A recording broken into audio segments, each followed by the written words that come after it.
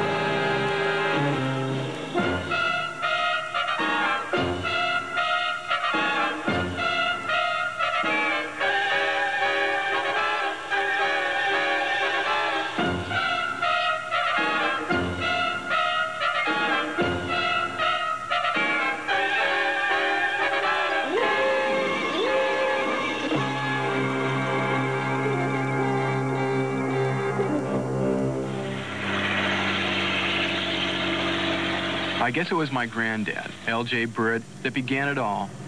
As an early-day motion picture cameraman, he filmed nature documentaries for a theatrical series entitled Legends of the Wilderness.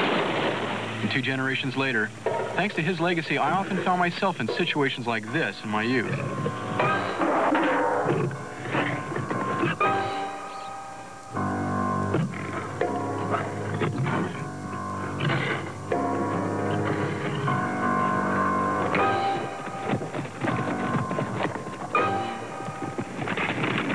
My dad, Bill Burrud, kind of followed in his father's footsteps.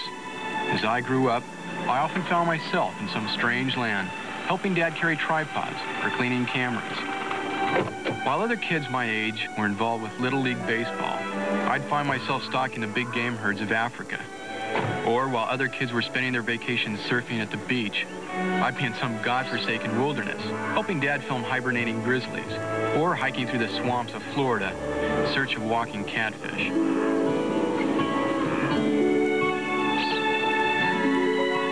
But being on the road with Dad has had its moments, like facing down one of Africa's Cape buffaloes, armed only with a home movie camera.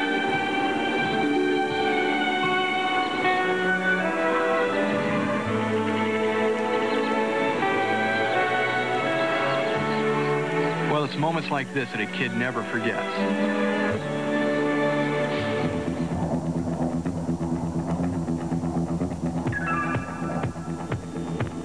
I'm older now, but like father, like son. Here I am, a third generation adventurer, off to seek out the intriguing world dangerous creatures.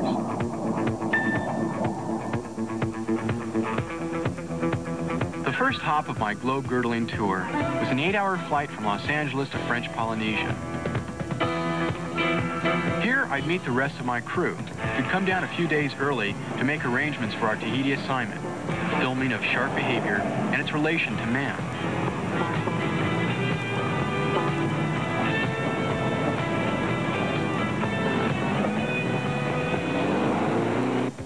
As our big jet departed Tahiti's airport on its continuing flight to New Zealand, we drove into French Polynesia's capital city of Papeete. Since Tahiti's discovery by Captain Wallis, a little over 200 years ago, Papeete Snug Harbor has been a haven for yachtsmen from the world over. Although the town's infamous waterfront nightlife has vanished, Papeete's quaint streets still offer the exotic look that reflects a French and Polynesian mixture.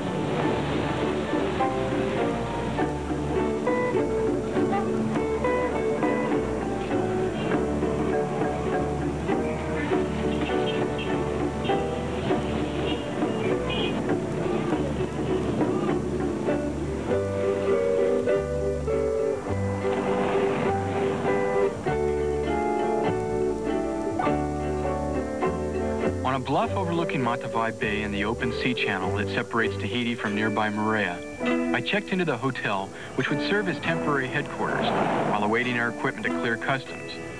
Also, we needed to obtain the proper government permits needed to film shark behavior.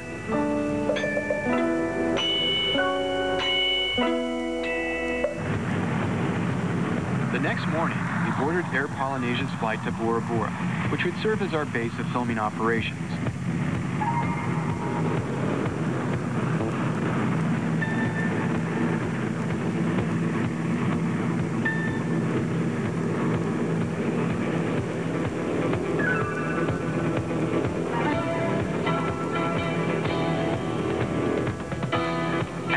An hour's flight time, the pilot eased back on the throttles, and we descended toward the strip at Motu Motumute, one of the small reef atolls surrounding Bora Bora's lagoon.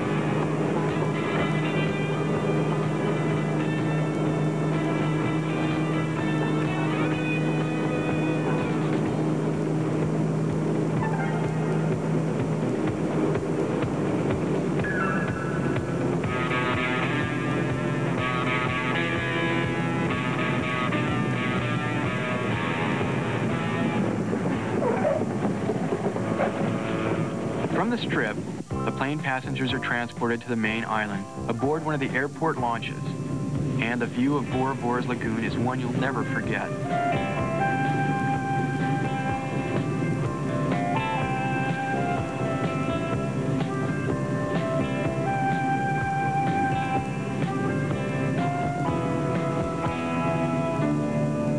Upon arrival on the main island, the passengers are hustled aboard open-air buses, which deliver you to your destination.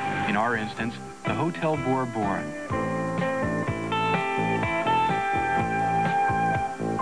It is here that you'll find the last of Bora Bora's famed sailing canoes, handcrafted dugouts hewn from a single tree and shaped to slice the water at amazing speeds. But to the experienced traveler, Bora Bora represents the opposite of speed. A chance to slow down, relax in the sun, and let the world go by.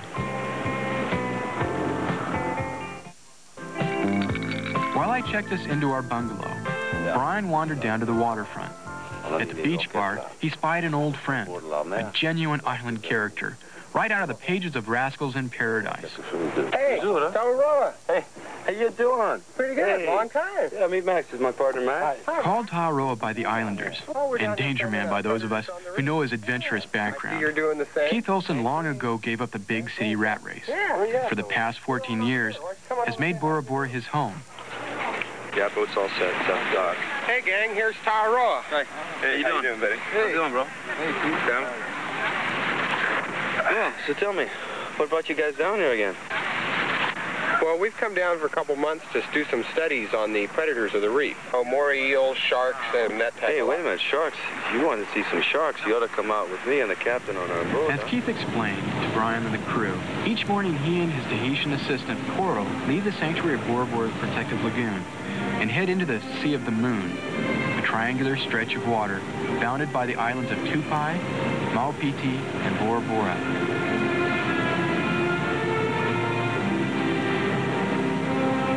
Their usual destination is the waters off the low coral atoll of Tupai. All hands keep a sharp lookout for the flocks of wheeling seabirds, which are a sure sign of fish below. Once into the birds, the action is fast and furious as the schooling bonita strike patrolling lures.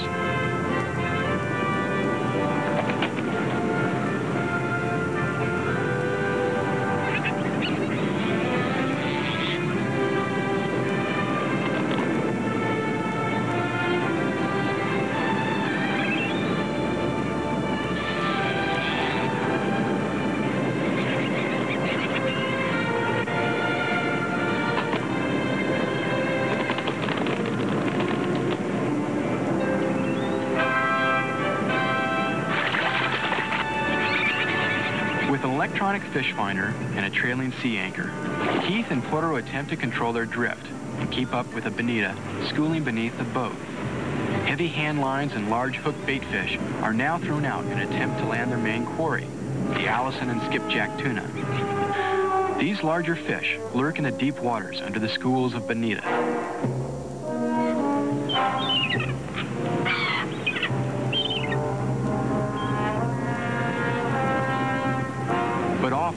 Another unwanted quarry is attracted to the bait, the ultimate predator of the deep, the open ocean shark.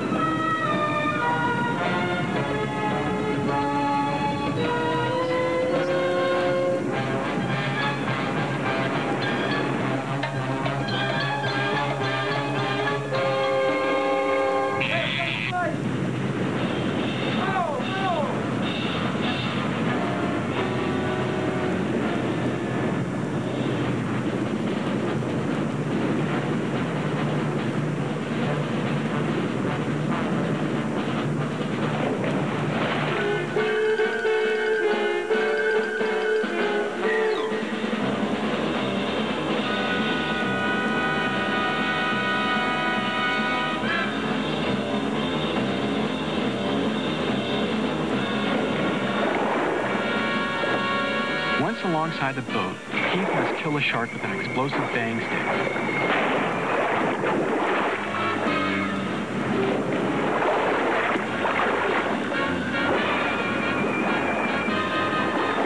In remote areas such as Bora Bora, hooks, stainless steel leader, and heavy lines are unbelievably expensive and must be retrieved if the men are to fish another day.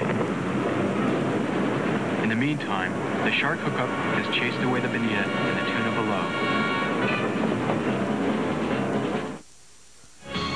Dangerous creatures will return on Discovery Sunday.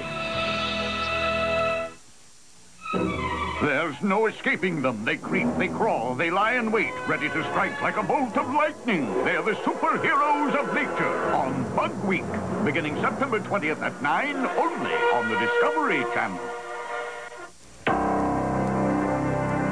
Stronger than most, this umbrella. Those who carry the travelers for their insurance needs carry a solid 128-year tradition of excellence. Chosen by 50% of the Fortune 500. Backed by $53 billion in assets. Open in case you want strength and experience the traveler's way. You're better off under the umbrella. Who are you going to call the most this month? I'd probably call my mother the most. My mother. Uh, my mother. With Sprint's new program, The Most, first you get 20% off whoever you call the most each month. My mother, because she worries. Second, you get 20% off calls to any of the millions of other Sprint customers automatically. My mother in Montana. My mom. I call my mother in Brooklyn, New York. Hasn't anyone around here ever called their father?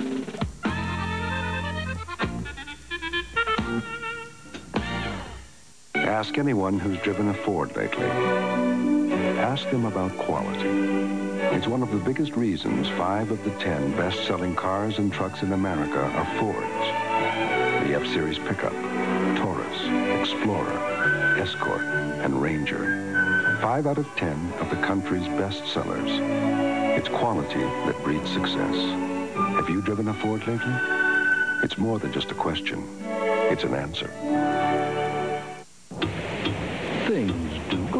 In the night. There are boogeymen.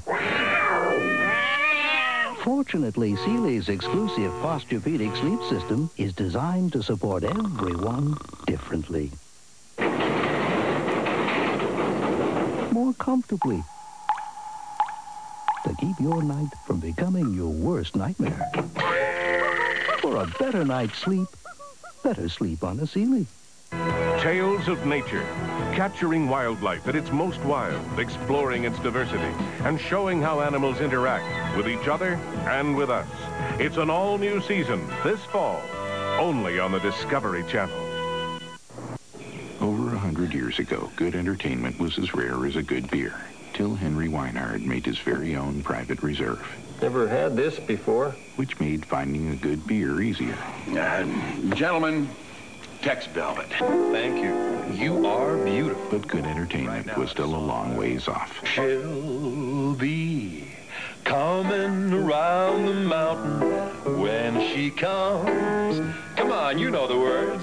She'll be coming Round two of the wide world of trash. Who do we have today, Hal? In the trash off is Mr. Smart from the residential rent-a-bin team versus Mr. Patience from the city pickup. They're off to good starts. Mr. Patience seems confident for his first contest. Both seem to be even going into the end of the collection phase. That's right. I think Mr. Smart may have met his match. Mr. Patience appears to be waiting, Hal. Smart's bin is being picked up as soon as he calls residential rent-a-bin. Did Mr. Patience miss his pickup day? He's going to wait a week. Mr. Smart and the residential rent-a-bin team have done it again. Another triumph over trash. Call 818-348-2467. Dangerous Creatures now returns on Discovery Sunday.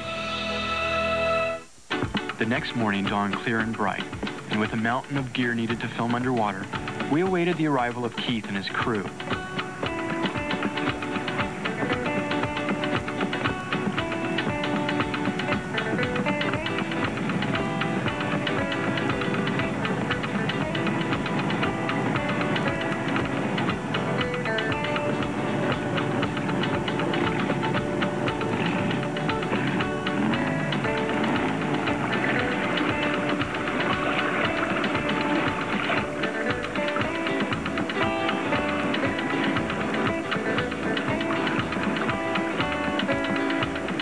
Alongside Vaitape's dock, we started to load aboard the gear we need for our Tupai underwater adventure.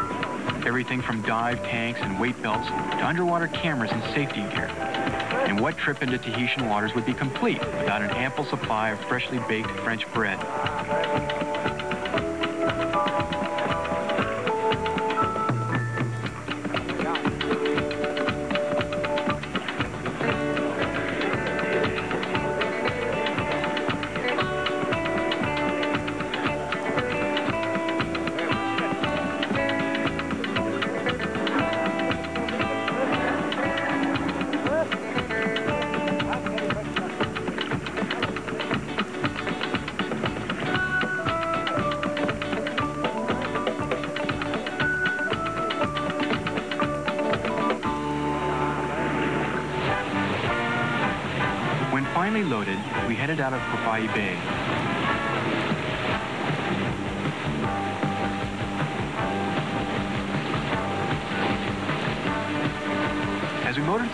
Te Pass, we sighted a sailboat heading for the sanctuary of Bora Bora's Lagoon.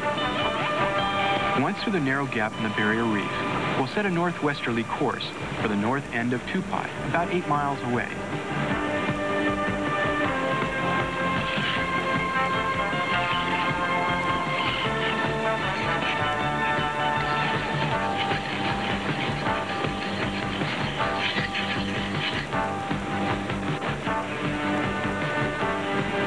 Through the waters of the Sea of the Moon, we are briefly joined by a group of porpoises riding our bow waves.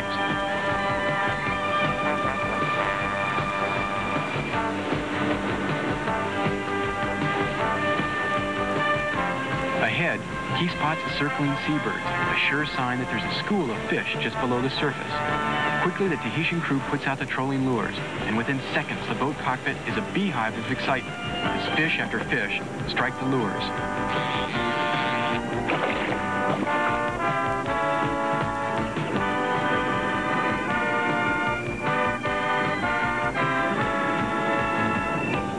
Out, the crew cuts up the catch into large pieces of chum, which are then thrown from the stern of the boat.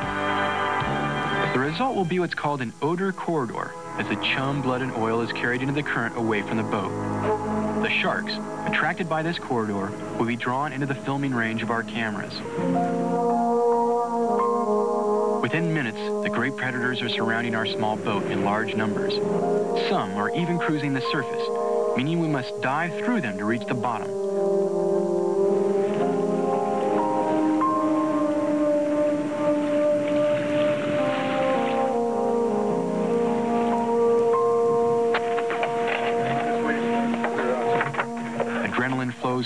we don our gear. It just hangs there.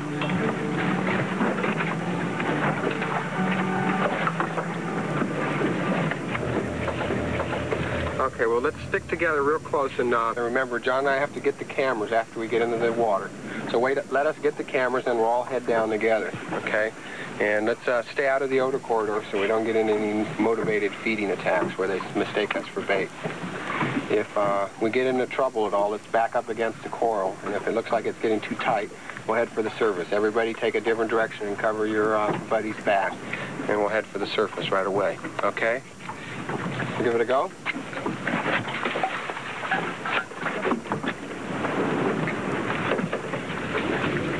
Just keep an eye on the grays before you go over there and make sure it's away from your boat? The white tips aren't too much trouble at all. Look hey, look at that one breaking the surface. Okay, you guys set? Go on in.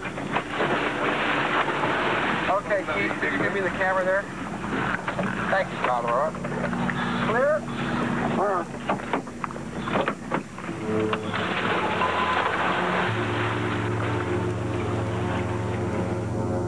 Following Brian's advice, we descend to the bottom in a group and waste no time in finding protective spots in the maze of coral spires and canyons.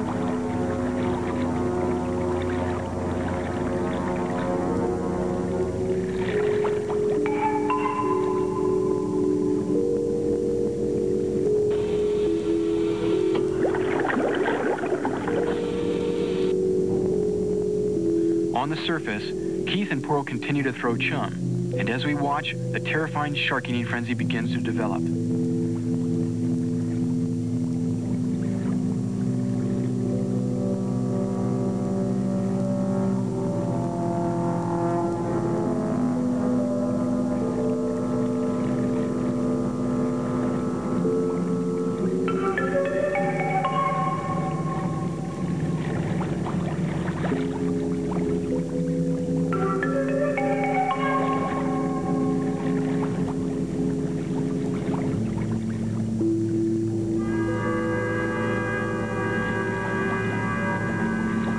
More and more sharks are drawn into the area, the competition between the predators becomes intense. The muscular whip of their body movements can actually be heard underwater, and with slashing teeth, they attempt to wrench food from each other.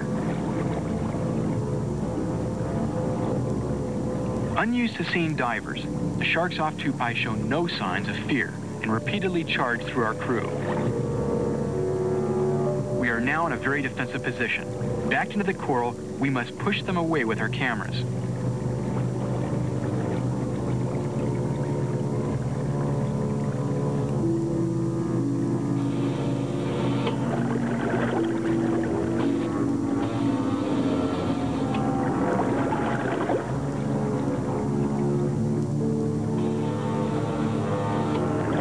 It's amazing how much air one can use in a tense situation like this. The feeding sharks are now dangerously aggressive. Our pressure gauges reading low air, we must head for the surface. But even as our group ascends, we're followed by an aggressive gray.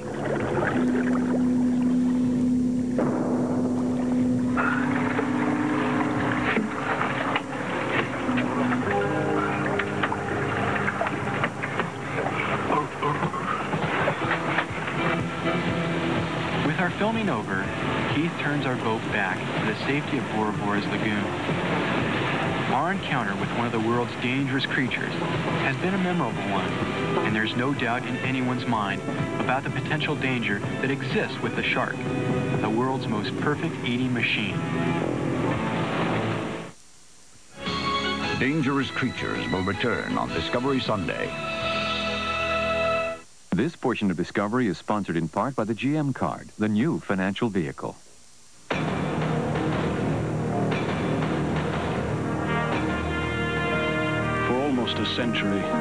America's had a love affair with the automobile. Today, the romance shifts into high gear with a revolutionary new financial vehicle that turns buying power into horsepower, plastic into steel. The GM MasterCard. It puts the power of the world's largest corporation in your wallet. It offers all the advantages of MasterCard, but every time you use it, GM will credit 5% of your purchase toward any new Chevrolet, Pontiac, Oldsmobile, Buick, Cadillac, or GMC truck. 5%. That could mean hundreds, even thousands of dollars in savings over and above any other discounts or rebates. And there's no annual fee. So if your heart still hears the call of the open road, the GM card can help you answer that call. The GM card, the new financial vehicle. We come from a land where the welcome home can make the journey worthwhile. So it's not surprising that our airline has earned the reputation for making travelers feel at home all over the world. While some would say it's just the Australian spirit to go further, others know that spirit simply as Qantas.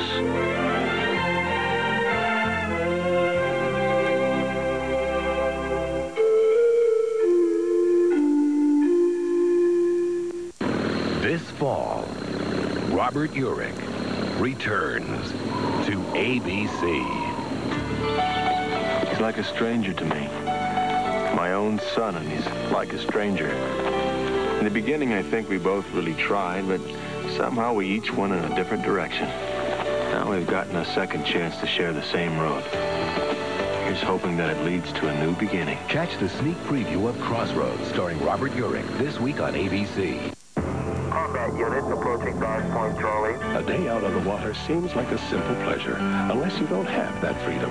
That's why out here, the proud men and women of our Navy are safeguarding that freedom to enjoy life's special moments. Should Africa's increasing elephant population be allowed to run its full natural course? Or is culling the solution to the overcrowding problem? Filmmaker Simon Trevor examines this environmental and ethical issue as he chronicles 20 years in the lives of the elephants of Tsavo National Park. Don't miss the Discovery Journal premiere of Keepers of the Kingdom, Wednesday at 10 Eastern, only on the Discovery Channel. There's no escaping them. They creep, they crawl, they lie in wait, ready to strike like a bolt of lightning. They're masters of flight, unrivaled home builders, quick on their feet and fast on the draw. Witness their secret rituals, thrill to their exploits as they struggle to survive in a land of giants. Soar with the superheroes of nature on Bug Week, beginning September 20th at 9, only on the Discovery Channel.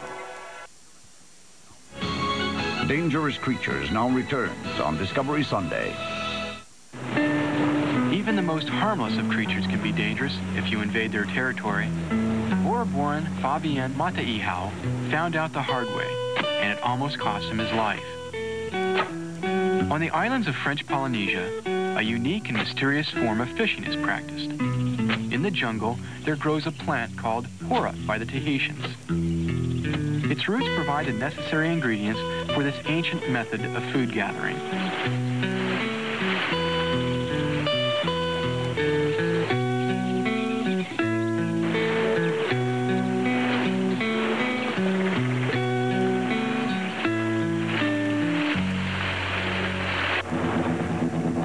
Bundle of hora root has been pulled from the ground, the fishermen head into the lagoon. On the day Fabien had his close brush with death, he was accompanied by his brother, Arati. Hora fishing has been practiced since prehistoric times, and the knowledge of its use is passed from father to son. The first requirement is to locate a coral head that's the home of an abundance of fish, and one that's in reasonably calm water, with little current.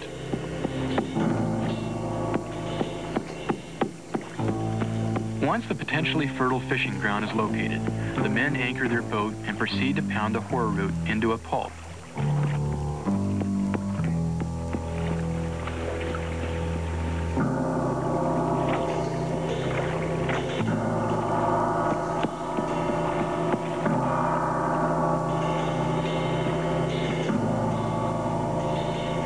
When the pounding process is completed, the men enter the water with the bundled hora root in hand. It's necessary to swim to the selected coral head, holding the root out of the water. This keeps it dry until the last moment.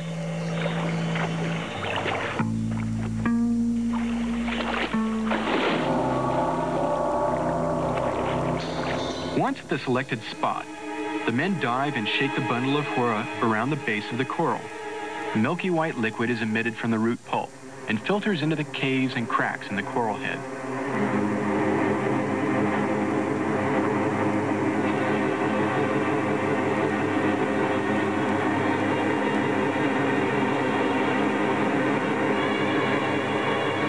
Matter of minutes, the hora root begins to take a toxic effect. Soon, the water around the selected coral head is filled with drugged and dying fish. Now it becomes a simple matter for the divers to swim around and gather their catch.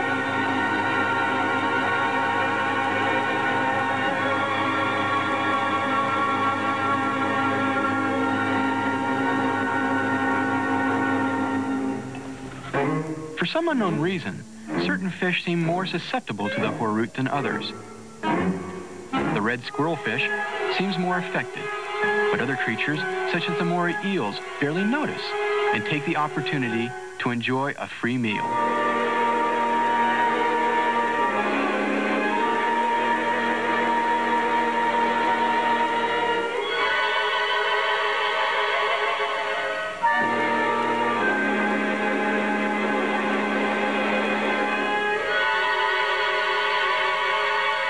And this is where Fabienne's close brush with death really began.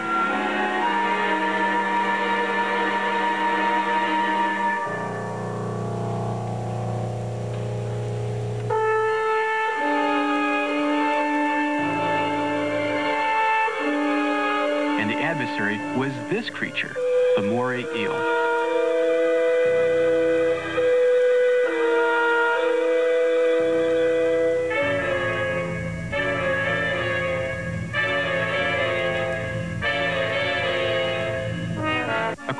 To Fabienne's account of the incident, he was attempting to catch a drugged fish, which kept slipping through his fingers.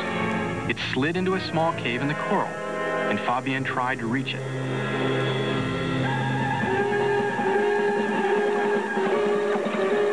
In defending its territory, the moray sunk its teeth into Fabienne's hand and held him like a living vice. Although in shallow water, Fabienne couldn't break the surface far enough to catch a breath of air. As Fabian learned the hard way, even the most docile of creatures can be dangerous if they feel threatened by man.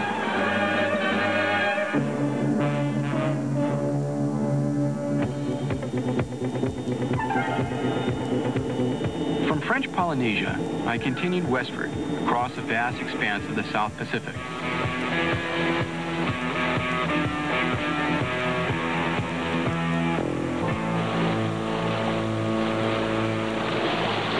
Finally, I could see my next destination, the Great Barrier Reef, which runs the length of Australia's eastern coastline.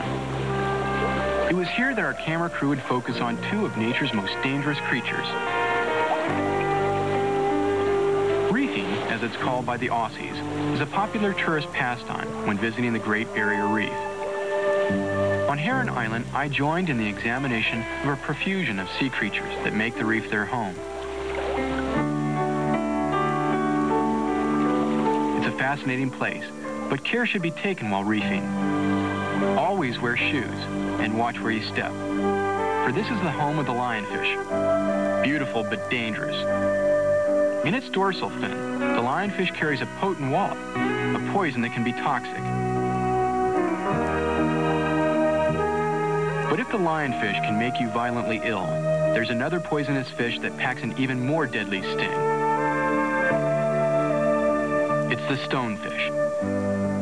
Aptly named, the fish resembles nothing more than a moss-covered rock, but its poisonous spines can cause hours of intense pain and occasionally death. This natural camouflage enables the stonefish to easily surprise its prey. But what's good for him is not good for you. So when reefing, watch your step.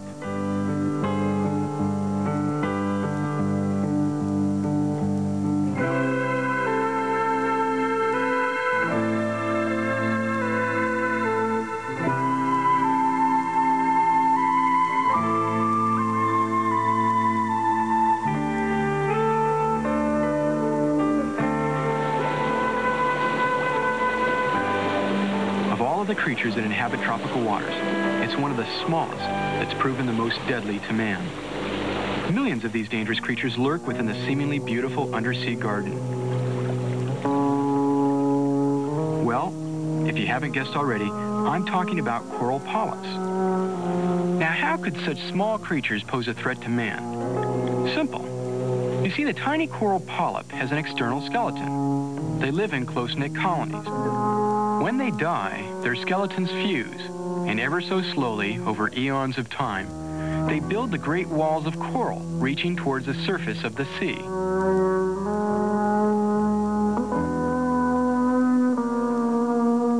Since man first learned to use the sea as a marine highway, thousands upon thousands of ships have ripped out their bottoms on the jagged coral reefs.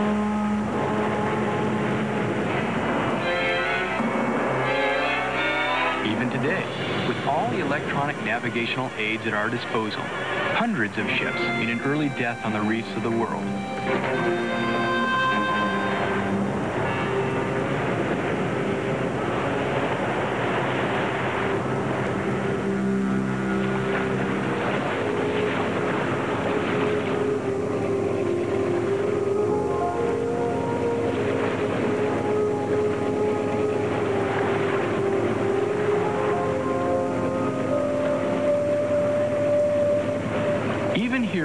Island, there's graphic evidence of nature's toll. Grounded on the reef is the Protectorate, an Australian man of war, a ship of the line, representing one of the greatest empires the world has ever known, wrecked by the handiwork of the lowly coral polyp.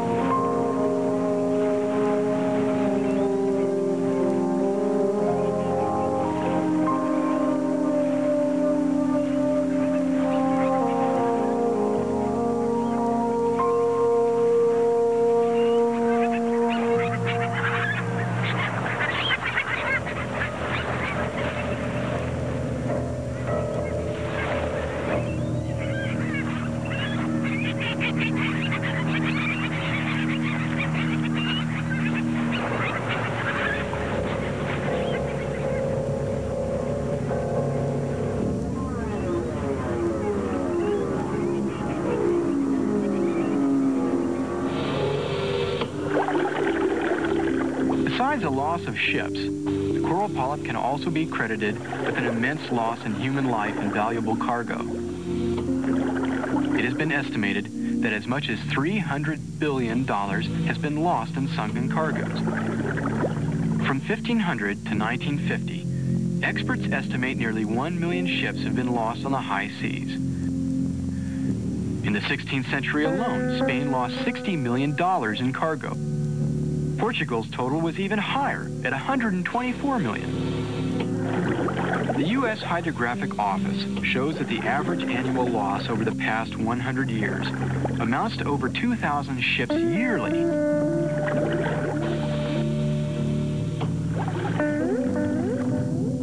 And as I found in my diving experience, the floor of the ocean is littered with their fascinating and often valuable remains.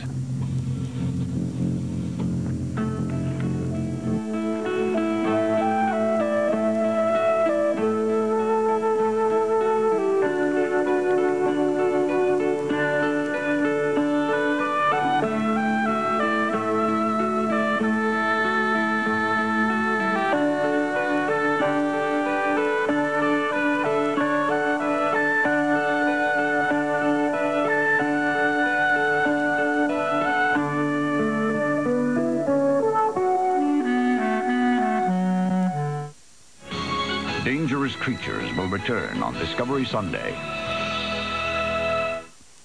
Brought to you in part by Buick, the new symbol for quality in America. It's not that we're out to burst any balloons here. But the 1992 Buick Skylark comes with something as standard equipment that's optional on practically every import in Skylark's class. Anti-lock brakes. When you add up the cost of the car, that could save you almost a $1,000. That could, of course, also help save you your life.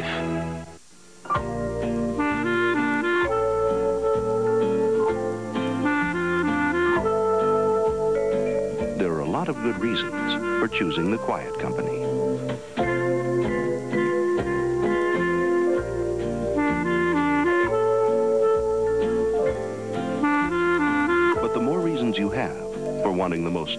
Life insurance, the better the quiet company sounds. Northwestern Mutual Life. When you want the great taste of fresh squeezed orange juice, a juice made with only 100% pure oranges.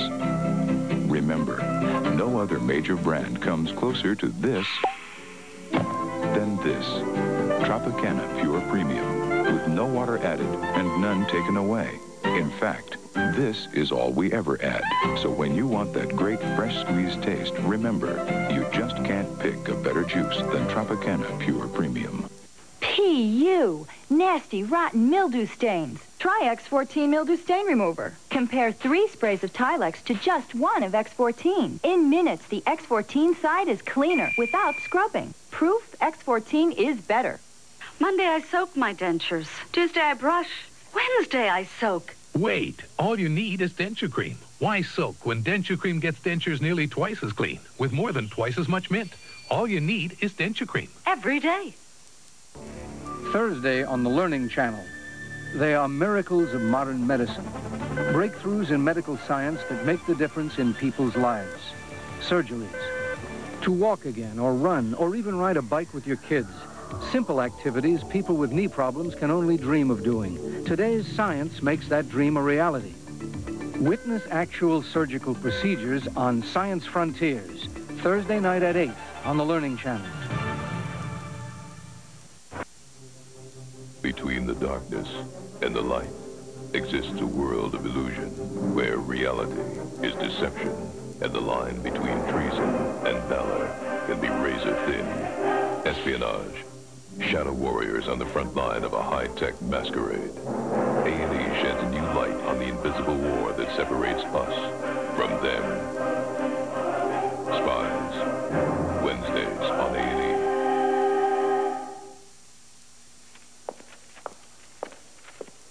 Hmm. The HBO Big Fall season featuring the Addams Family and other Hollywood hits. Dana Carvey hosts the Young Comedian Special. Big heavyweight fight, Ruddock versus Lewis, and the King of Pop, Michael Jackson's first ever televised concert. The fabulous HBO fall season. Thank you! All this and much, much more. So big, it speaks for itself. Creatures now returns on Discovery Sunday. Continuing on our westerly route, our quest for dangerous creatures now brings us to Africa, the fabled dark continent. In Kenya, I wanted to check out the really big game animals, such as the African elephant. Now, on a scale of 1 to 10, where would the world's largest land animal place among the dangerous creatures?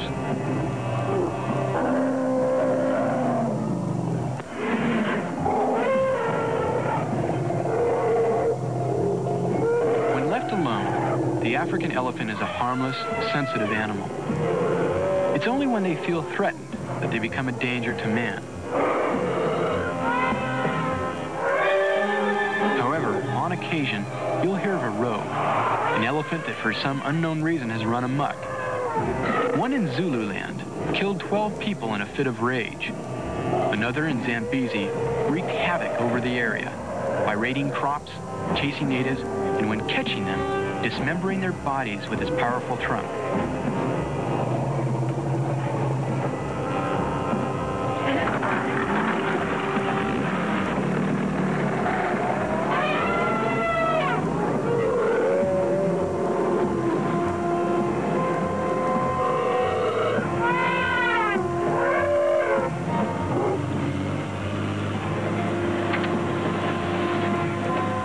When you consider that an African elephant much as 12 tons, it's easy to imagine the danger one could do if riled up enough. As I watched the herd, I wondered what could cause an elephant to turn into a rogue. They seem so peaceful.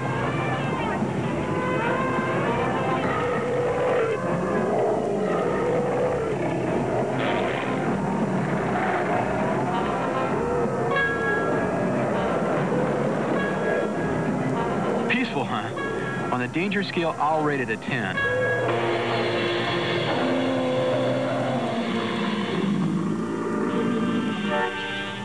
Kenya's bushland is also the home of the African lion. Like all cats, they spend most of their time sleeping or resting in the shade. When hungry, they will skillfully stalk their prey and, with radar-like vision, single out a specific gazelle or wildebeest from the herd. Never varying from their chosen target, the lion's short charge is a display of raw power and quickness. One bite in the neck is usually all it takes.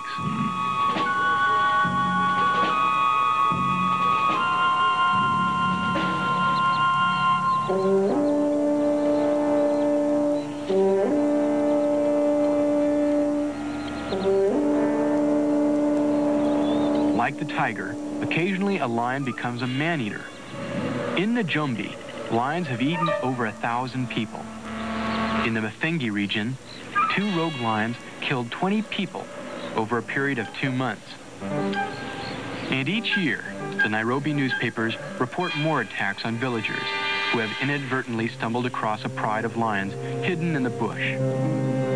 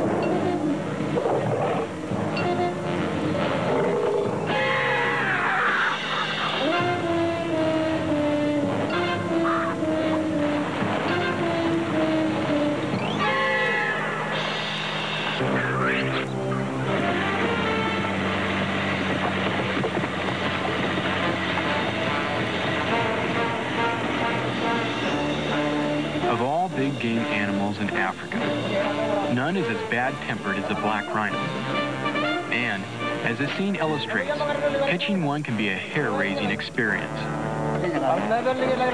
Most animals must feel threatened or be provoked before they will attack man. Not so with the rhino. Often the slightest movement or sound will trigger a thundering charge. Some believe its terrible temper and aggressiveness is due to bad eyesight. But that theory may soon be just academic. For in Kenya, only 500 of the prehistoric beasts still survive.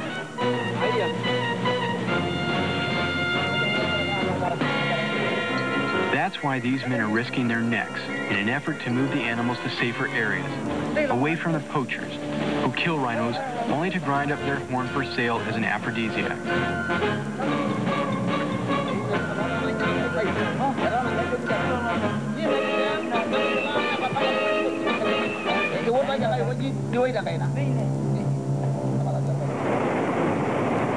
This is Murchison Falls, one of the most spectacular sights in the world. Here, all of the waters of the Victorian Nile thunder through a rocky chasm only 20 feet wide.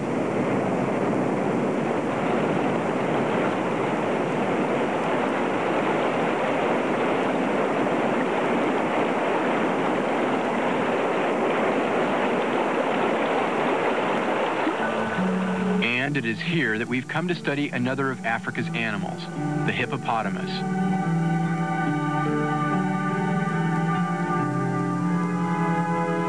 In days gone by, the hippo was found all along the Nile, from the Delta, through Khartoum, and on to Lake Victoria.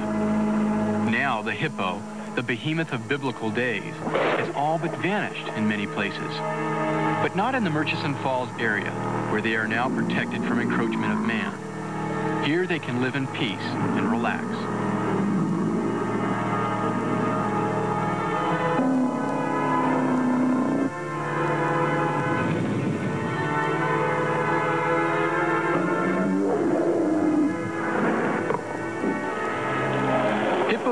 Scales at around 8,000 pounds. But despite this bulk, they can move with amazing speed. It has been estimated that hippos live to about 40 or 50 years of age.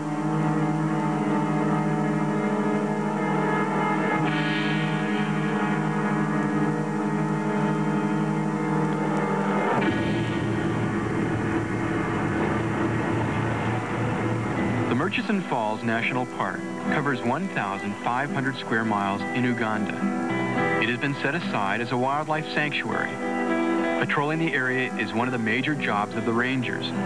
They must constantly be aware of the food supply available and the health of their charges.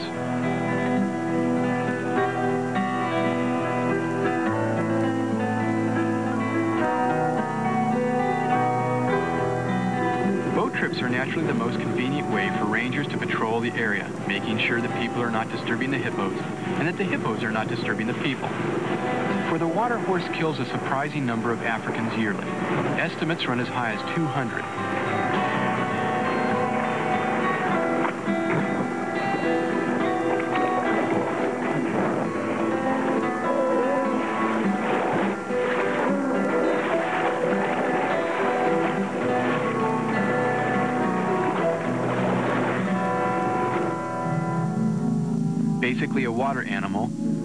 Hippopotamus can submerge for long periods of time and often does so when alarmed or foraging for food.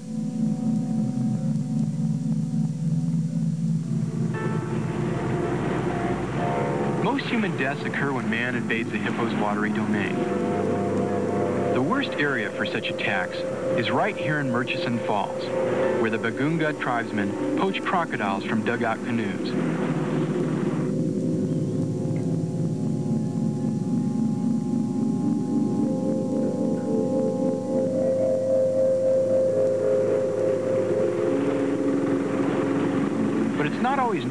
Fall victim to the enraged hippos. Two South African officials, Adrie Stein and William Steinberg, fell prey to hippo attacks in separate incidents. Steinberg was attacked by a hippo that charged out of the water. With one bite, the beast crushed his chest, killing him. On the other hand, Adries was tracking a rogue hippo on the Okavango River when thrown from his boat. He was never seen again.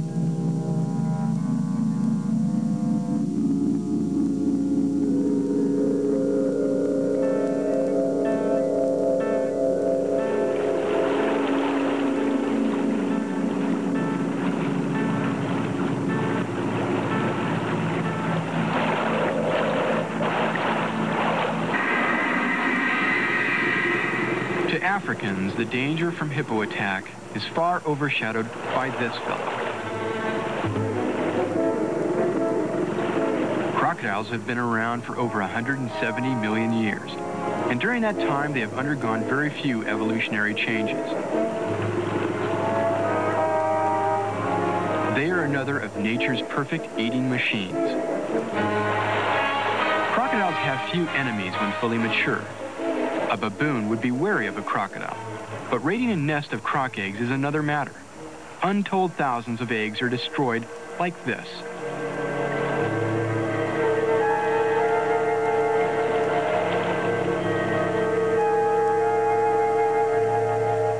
At six feet long, monitor lizards are the next African reptiles in size to the crocodiles. Armed with sharp teeth and claws, they too search out the crocodile eggs.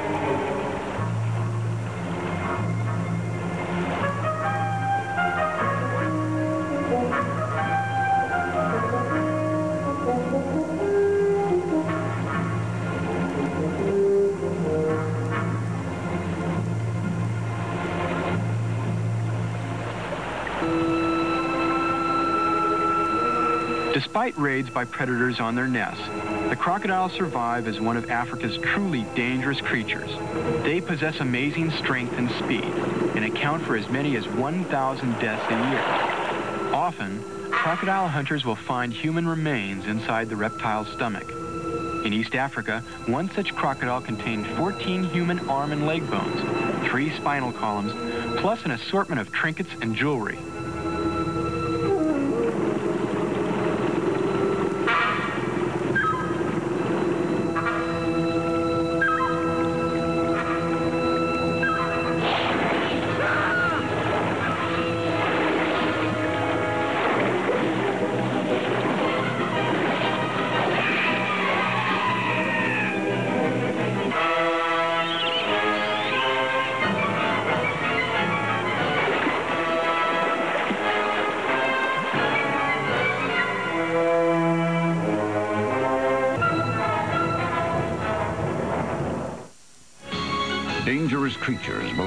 On Discovery Sunday.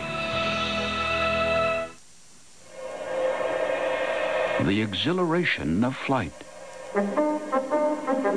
the genius of design, the invention that changed our world. The Discovery Channel proudly presents a sweeping history of aviation, a 13-part original production examining the breakthrough airplanes the innovative people behind them. Frontiers of Flight.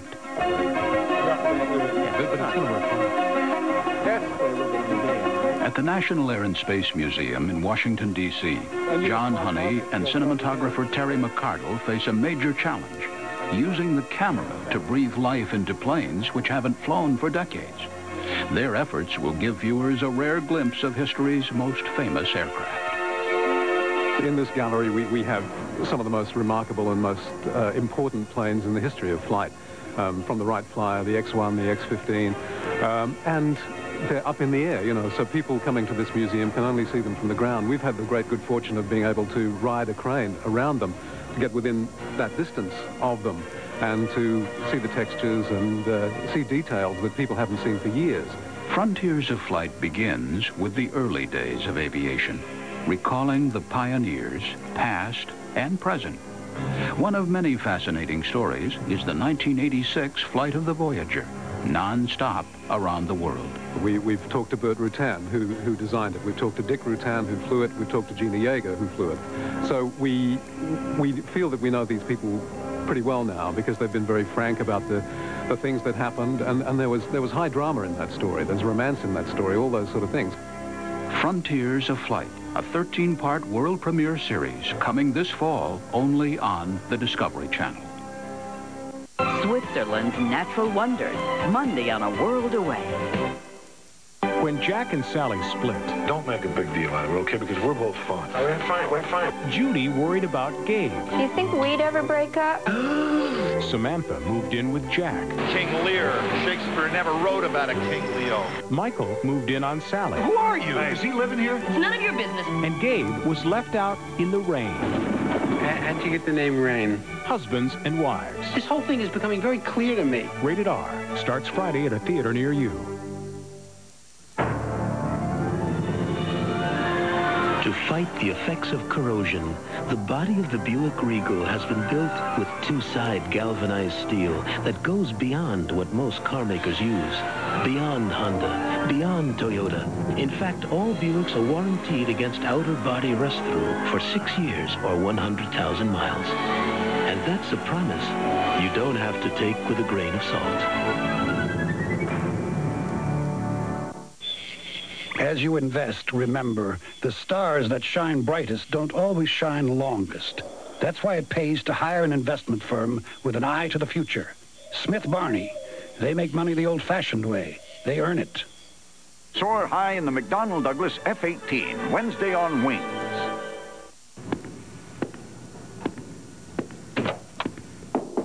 Senator? Yeah, Jack, come on in. You wanted to see me? What happened here? Senator. Laura? Originally, when this cable bill was drafted, our intent was to regulate rates. That's right. Now, the way I'm reading it, it's going to raise rates. Only a few dollars a month. Yeah, Jack. A few dollars a month. Could be as much as $3 billion a year if you count all cable customers. Well, you know what happens. The special interest groups get involved. Before you know it... One of the reasons is the major broadcast networks want to now start charging cable users extra to watch their programs. Only cable users? Everyone else will still get these programs for nothing. That's the way it'll turn out. And I take it nobody's asked the cable users how they feel about this. Well, no.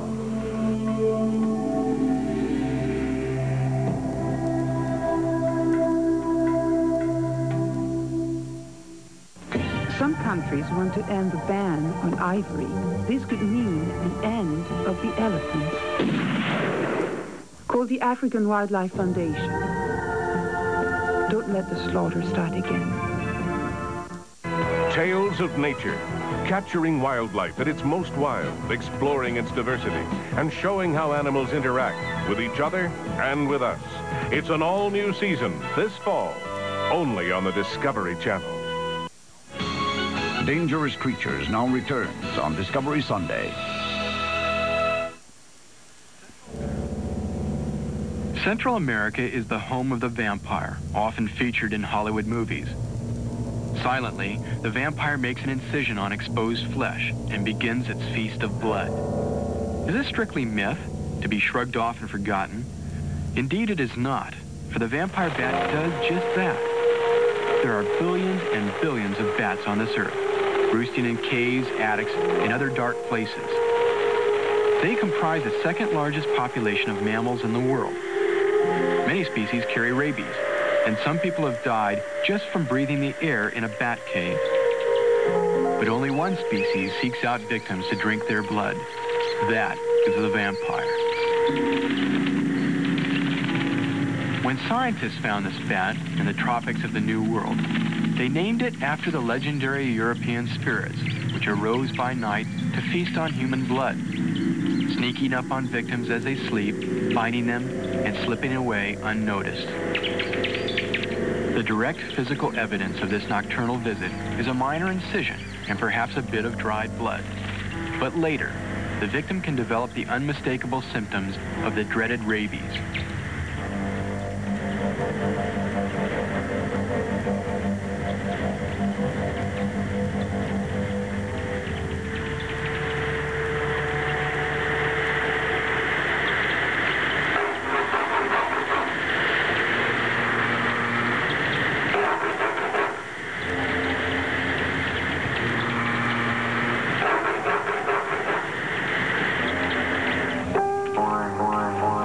With adventurer Chuck Granada, we're entering a vampire cave, a chilling walk into the world of perpetual darkness.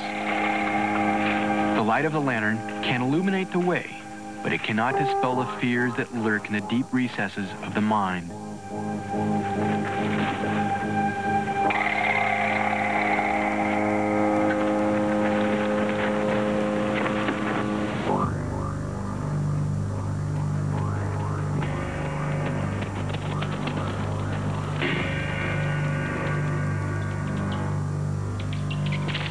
Here in Sinaloa Cave, Chuck comes across a colony of vampires. While true that a single bat takes only an ounce of blood at a time, there may be thousands of them in a single cave. Altogether, they would require 15 gallons of blood a night from the surrounding area. This amounts to a staggering 5,750 gallons of blood annually.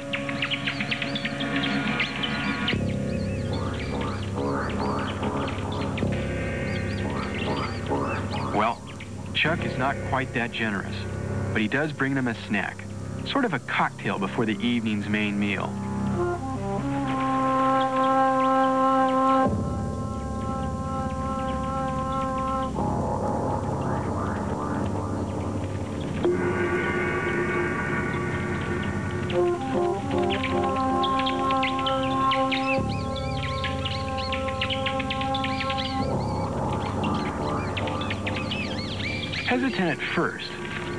Vampires now approach the bowl of blood and start to drink. They have incredibly sharp teeth with cleft lower lips. This enables them to snip out a small portion of skin. As the blood swells from the wound, the bat then laps it up.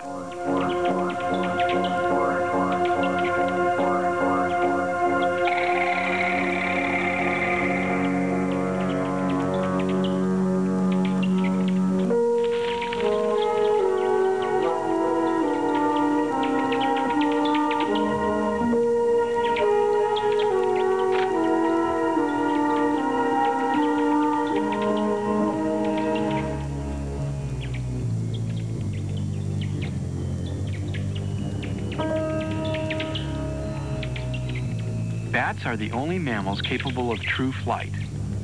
In their nightly forays, cattle are the preferred victims. But in a pinch, humans are perfectly acceptable.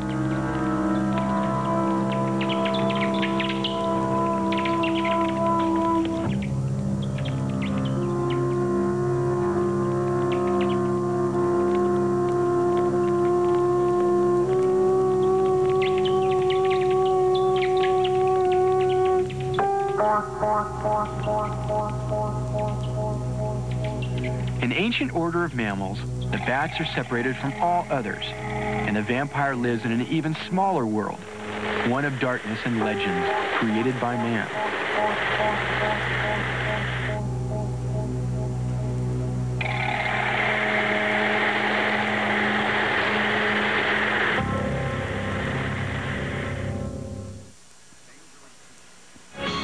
Dangerous Creatures will return on Discovery Sunday. It's an all-new season coming this fall, only on the Discovery Channel. Sorry, we're out. Dear Thompson's, when the store ran out of Thompson's water seal, we reluctantly finished our deck with another brand. What a mistake. The Thompson side beat it up in the rain. The other side, nothing. The one on the left? Even the clerk agreed. Nothing works like Thompson's. Sincerely, Blair and Becky Jones. Charlotte, North Carolina. Now from Thompson's, this free applicator spreads a gallon in 10 minutes, delivers just the right amount for complete even coverage. A $3.99 value, yours free with these special packages. The world's most comfortable mattress would be one you couldn't feel at all. That's the idea behind Sealy's Posturepedic Sleep System, designed to support everyone differently, to conform to every curve, distribute your weight evenly. Only Sealy Posturepedic has it, and for a more comfortable night's sleep, there's nothing like it.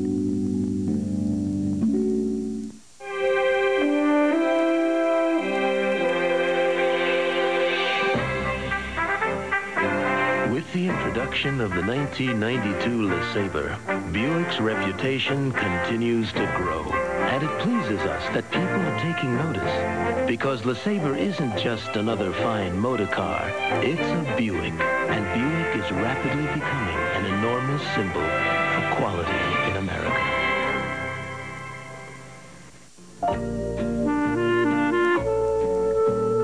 The more reasons you have for wanting the most secure life insurance, the better the quiet company sounds. Northwestern Mutual Life. Were here. He has the traveler's checks here. Uh-oh. Well, now there's American Express traveler's checks for two. The first checks either of you can use. Don't leave home without them. Should Africa's increasing elephant population be allowed to run its full natural course? Or is culling the solution to the overcrowding problem? Filmmaker Simon Trevor examines this environmental and ethical issue as he chronicles 20 years in the lives of the elephants of Tsavo National Park. Don't miss the Discovery Journal premiere of Keepers of the Kingdom, Wednesday at 10 Eastern, only on the Discovery Channel. Dangerous Creatures now returns on Discovery Sunday.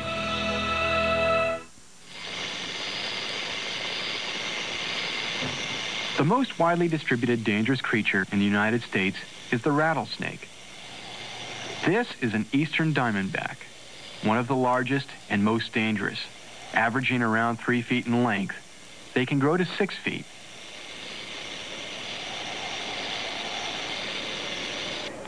Their camouflage bodies range from olive to black and are marked by a distinctive diamond pattern. One bite can be fatal, and most people avoid these killers. But there are those who go into the wilderness for the purpose of finding rattlesnakes and bringing them back alive.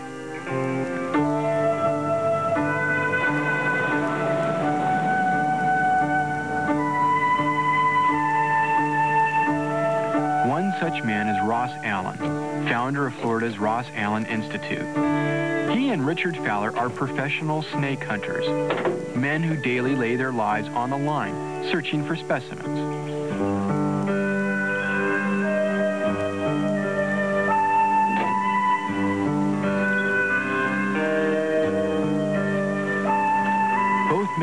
Aware of the agony and pain snake bites can cause. They also know that the very same venom that kills can save lives. The only way to get that venom is from the snakes that produce it. Allen has perfected techniques for finding and capturing reptiles which most humans would just as soon avoid completely.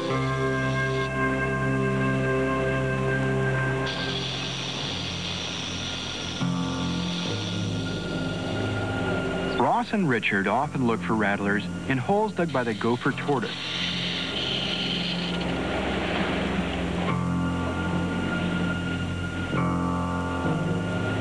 A mirror reflects the sunlight and locates the rattler near the entrance to the burrow.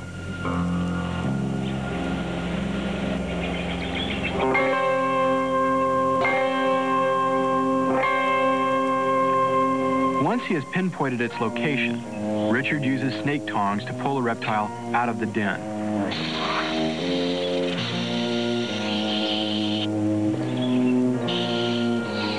Even with the tongs, snake handling is tricky business, and close calls are often a part of this hazardous occupation.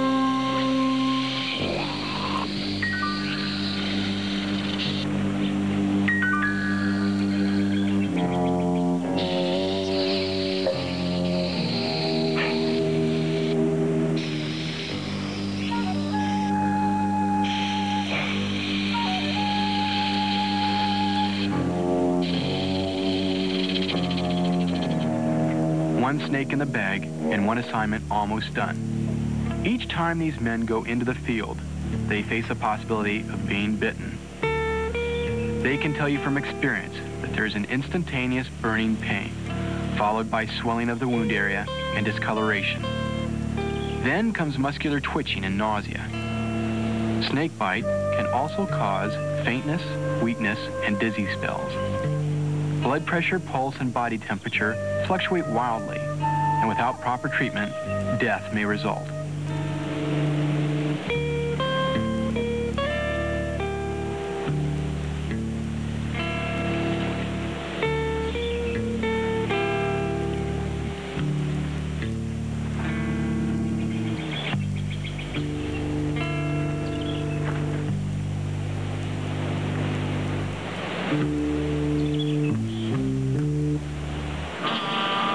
Surface temperature gets too hot, rattlesnakes descend into their den. Being a cold-blooded creature, the rattlesnake regulates its body temperature by getting out of the sun.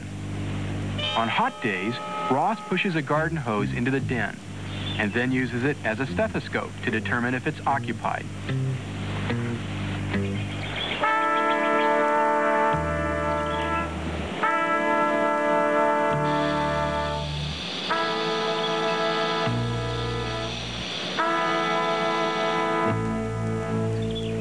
Flush out their quarry, Ross uses a tiny bit of gasoline, which he pours down the hose.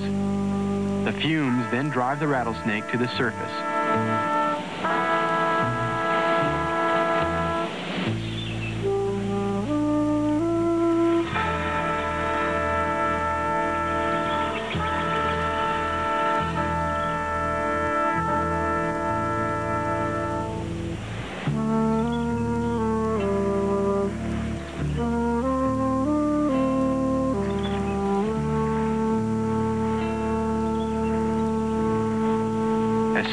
Snake emerges, Richard grabs it.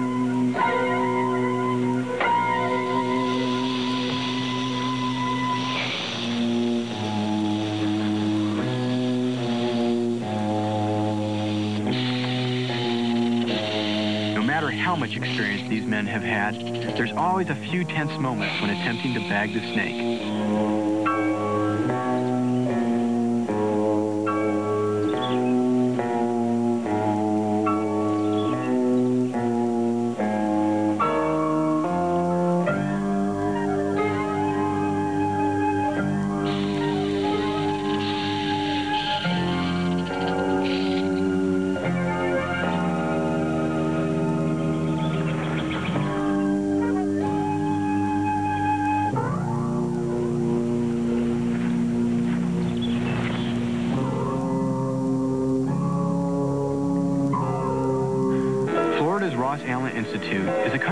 Producer of dried snake venom for medical purposes.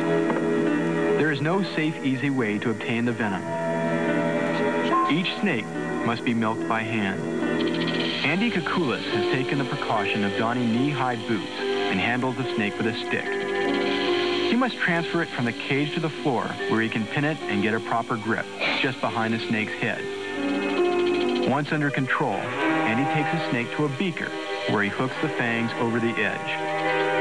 The fangs are like tiny hypodermic needles, and by pressing the venom glands, the poison courses through them and into the beaker.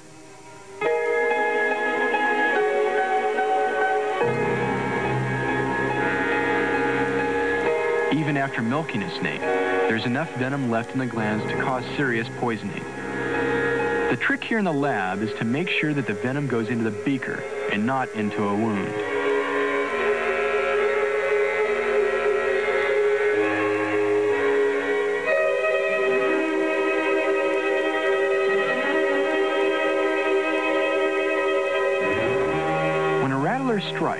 Fangs swing out as the mouth opens at an angle of 180 degrees. Upon contact, the venom is forced into the wound. Pound for pound, the eastern diamondback is among the most deadly snakes in the world. The venom is used in the manufacture of snakebite serum for the treatment of pit viper bites. Called antivenin, the serum is put through a series of processes which will eventually end in a finished product, available by prescription to doctors.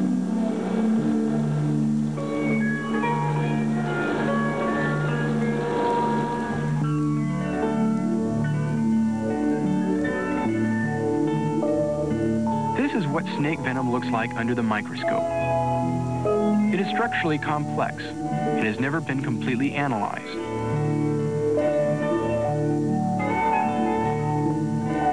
Dr. Joseph Gennaro is a university professor and serves as a consultant to the Institute. He's an expert on venoms and probably knows as much about their effects on tissue as anyone alive today.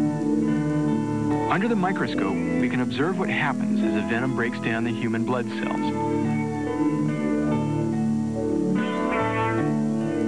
Its action is slow and painful since the venom actually starts the digestive process in the wound. The result is dying flesh and the possibility of gangrene.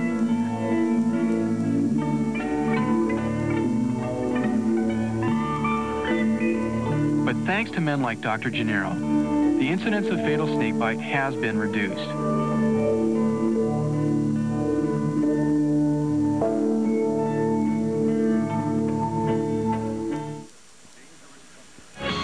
Dangerous Creatures will return on Discovery Sunday.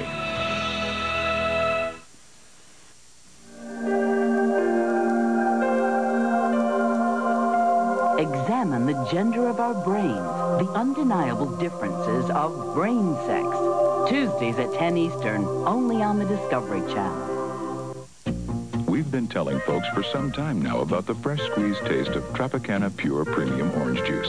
However, there's a certain segment of the population who prefer their juice the way Mom used to make it, full of juicy bits of real orange.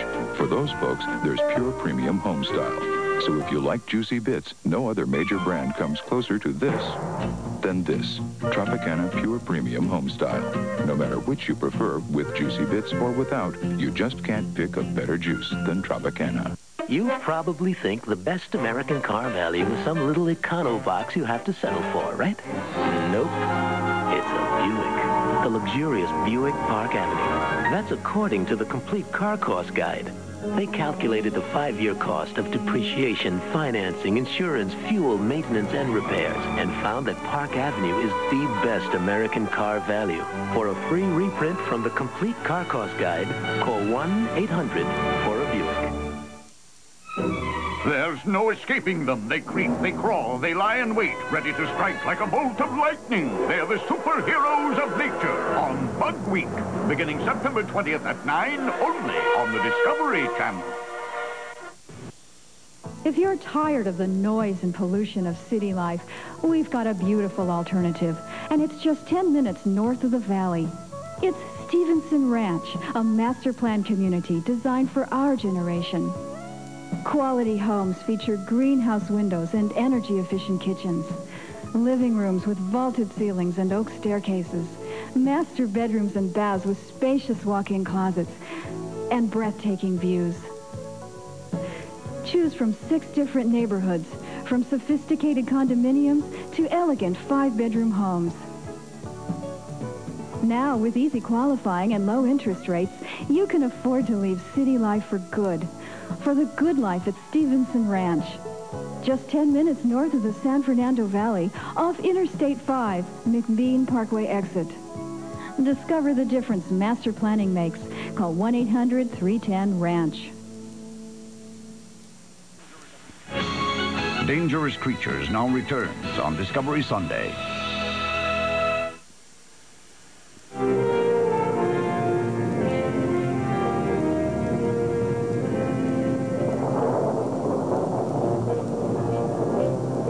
Our global research on dangerous creatures has brought us here, to the mountains of the Pacific Northwest. For it is here that we find America's largest carnivore, the grizzly bear. Its scientific name is Ursus horribilis, the horrible bear. At one time, it ranged throughout the plains and mountains of the American West, clear to the Pacific shores.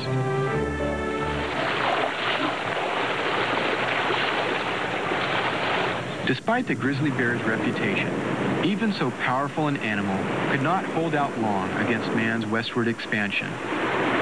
Breech loading and repeating rifles took their toll, and by 1922, they were gone from California. A year later, they vanished from Utah, and by 1935, the grizzlies had disappeared from Oregon, New Mexico, and Arizona. Today, their range is confined to the mountains of Colorado, Idaho, Wyoming, and Montana. They can also be found in Canada and on into Alaska, where they resemble their close cousins, the Kodiak or Alaskan brown bear. In the lower 48 states, the grizzly population is estimated at 750 to 1,000 bears, confined mostly to Yellowstone and Glacier National Parks. And here is where the modern story of the grizzly continues to unfold. As Americans develop more leisure time, the national parks absorb more and more vacationers and campers. This brings humans into direct contact with nature's creatures, including Ursus horribilis, the grizzly bear. When entering the parks, the Park Service gives each motorist a brochure about bears. It warns readers that because of their protected status, they have lost their fear of man. While this may make them appear tame, actually in this state, they are more dangerous. But each tourist season, it seems someone ignores the warning. Come here, Bear. Honey, get out some bread. Let me throw some bread on. Come on, Bear. Oh, this is great. This is great. Come on, Bear. Look at the size of him. Come on, over here. Over here. Honey, honey, keep throwing bread, okay? Come here, Bear.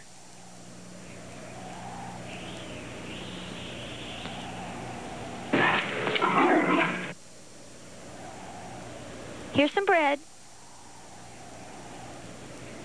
Here's a little more bread. You want some more bread? Here's more.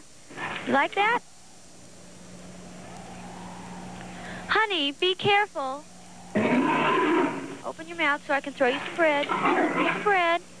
And there's some more. You want some more? Bob, be careful. Be careful, Bob.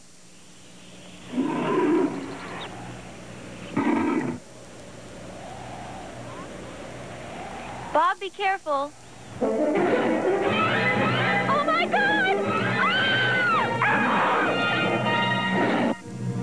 The more troublesome bears are trapped and moved to remote areas. But even here, there is increasing human pressure from backpackers. If you are planning a trip into grizzly country, naturalists and the Park Service offer this advice. Make noise when traveling. Some hikers wear small bells on their shoelaces to avoid surprising a nearby bear.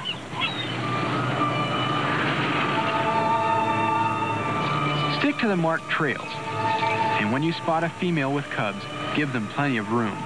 Most grizzly attacks are provoked by carelessness on the part of the hiker, not the bear. Some experts theorize that certain odors may trigger attacks. Deodorants, hairsprays, and cosmetics are all suspect. The scent of a domestic dog may also lead to an attack. When in doubt, make a detour. Service also recommends keep a clean camp and use a minimum of odorous foods. Seal surplus food in clean wrapping material or in airtight containers. Ice chests are generally not bear-proof. A good deodorizer is effective in eliminating food odors from your camp. Food left on tables or stored in the tent is a natural target for bears. Campers often suspend their supplies from trees out of the bear's reach. It is also advised that you should burn all garbage and food containers to eliminate lingering odors. With these simple precautions, the backpacker can relax and enjoy nature's wonders.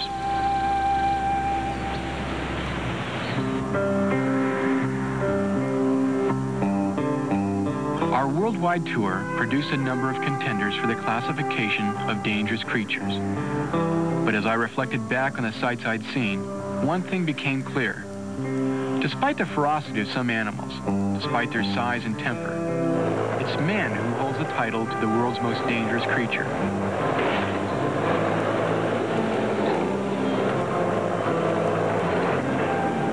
For as his population grows by leaps and bounds, he threatens the very existence of the other creatures.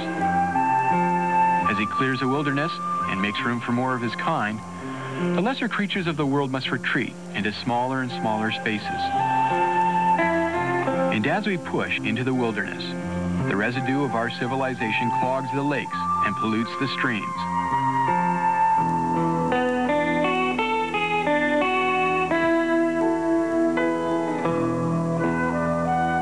It is time for us to decide. Shall we continue as the me generation? Or shall we make a commitment to the future? Let us hope we choose a second course and leave a little of nature's wonders for all people, for all time.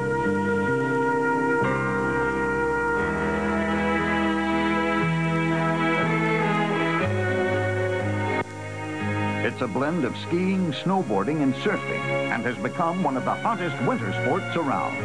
Strap on a snowboard and catch the wild white waves of winter on the Smooth Groove.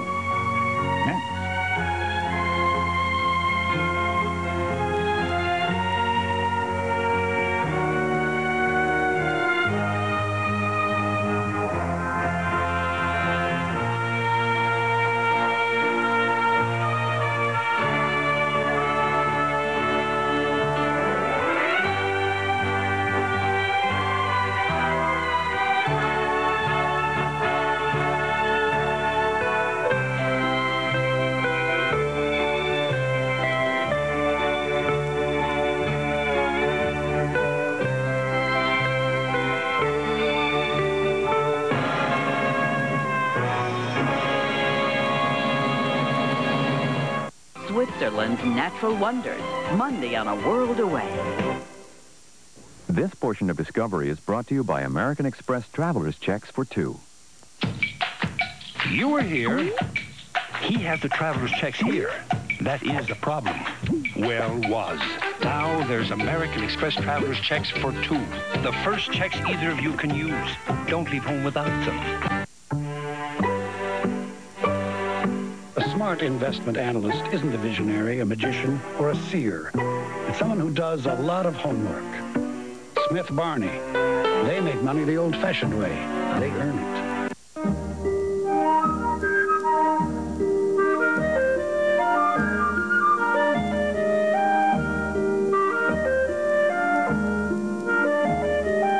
A better way to catch your Z's is on Sealy's Posturepedic Sleep System. Distribute your weight evenly, comfortably. Only Sealy Posturepedic has it. So for a better night's sleep, better sleep on a Sealy. Thursday on the Learning Channel. They are miracles of modern medicine.